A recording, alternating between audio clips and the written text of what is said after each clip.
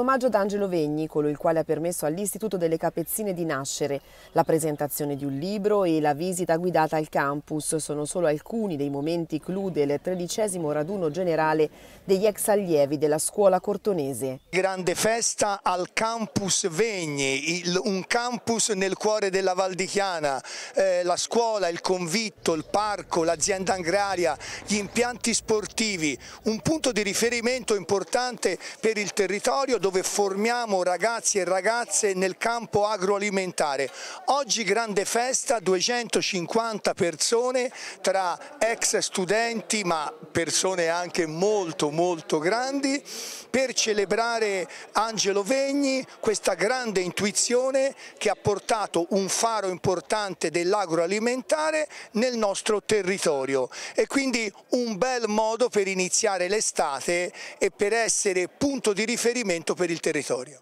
L'evoluzione della nostra scuola negli anni eh, chiaramente è stata al passo con i tempi, sono stati aperti altri indirizzi di studio, ma è rimasta sempre eh, fedele a quella che era l'idea del nostro eh, fondatore, quello di ehm, istituire un, un, qualcosa, una scuola che potesse dare un futuro ai giovani. Ecco, io faccio parte di quei giovani in qualità di ex studente e penso che la più grande soddisfazione oggi è qui ad accogliere oltre 230 persone in questo raduno degli ex studenti e amici del Vegni che sono tornati di nuovo qua nella loro scuola, nella nostra scuola, a, a visitarla e la trovano cambiata, sì, migliorata, gli spazi esterni eh, tutti curati, nuovi laboratori, serre nuove, quindi per noi ex alunni del Vegni è veramente un vanto tornare qui all'Istituto Vegni in occasione del tredicesimo raduno e, e ritrovare amici, professori e eh, compagni di un percorso di vita. Certamente una grande intuizione, eh, Angelo che era nato nel 1811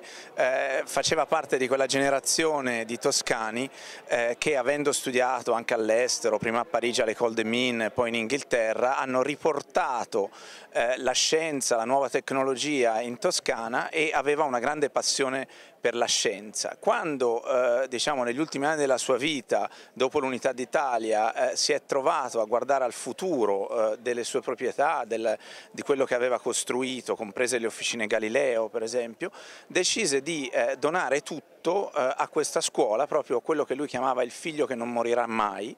e in un certo senso ha permesso eh, a, questo suo lavoro de, nel, nel, mondo della scienza, dell'ingegneria, di applicarsi inizialmente all'agricoltura, quindi con la scuola agraria e eh, combinare quindi la scienza con eh, il mondo dell'agricoltura eh, alla fine dell'Ottocento con una scuola che ha continuato a eh, generare, ad educare eh, persone che hanno lavorato in Italia e nel mondo